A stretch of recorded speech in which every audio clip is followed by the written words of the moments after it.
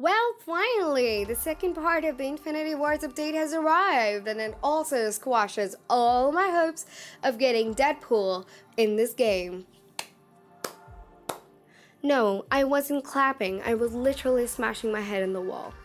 Anyways, let's get started. So at least we have something new in the game, but I'll be honest, actually we are getting this update pretty much faster than the second parts of updates that we have gotten earlier. So this is, yeah, this, this is pretty much fast. We're getting another sneak peek for a new update. So this is amazing to see that we are getting Wanda or Scarlet Witch. I would like to tell you that I am not definitely pleased with her uniform that we only have in the game that is the Marvel Comic Universe uniform.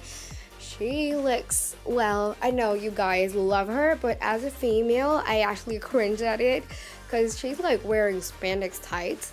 Looks weird. But this uniform actually makes her appear pretty much human. She looks amazing, and I am expecting a lot of action from her as we already might be knowing you know what is expected of course it is expected for her uniform to cost 1050 crystals so yeah i'm pretty much up for it either it might cost 1050 or it might cost 1500 um I expect it to be 1050. What do you think? Comment that down below.